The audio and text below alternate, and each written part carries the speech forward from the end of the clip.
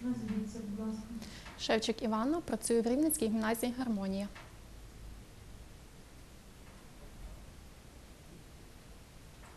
Чому протестували на Поліссі та яку унікальну операцію провели рівненські? Вже я не встигаю.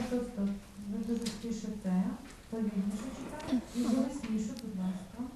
За день дві втрати. Під час виконання службових дій у зоні АТО загинули вихідці з Рівненщини. 28-річний житель села Адамівка Березнівського району Микола Саюк, який пішов на схід добровольцем ще у 2014 році, керував відділенням зв'язку взводу управління мінометної батареї. Також загинув мешканець Смиги Дубинського району Сергій Кочетов. У збройних силах е, України займав посаду старшого навідника мінометного взводу. У зоні АТО пробув більше року. За декілька днів чоловік чоловіку мало виповнитися 31 рік. Однак відсвяткувати його не вдалося. Загинув 1 листопада цього року. Розхитати і без того неспокійне полісся намагаються активісти з сумнівною репутацією. Протестують про- проти видобутку сонячного. Дякую.